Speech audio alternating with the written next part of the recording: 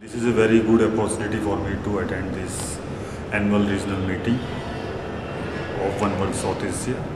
It is a, I think it is a very good platform where a lot of NGOs has came all together and they are thinking very seriously and uh, interacting on issues of climate change and it is a high time that uh, uh, there should be a shift from centralized to decentralized as uh, our NGO Sahyog is working in very grassroots level in Delhi, I think it is important to uh, reflect on what we are doing and uh, see that our action will bring uh, devastation to the nature. I think we need to change our approach and we have to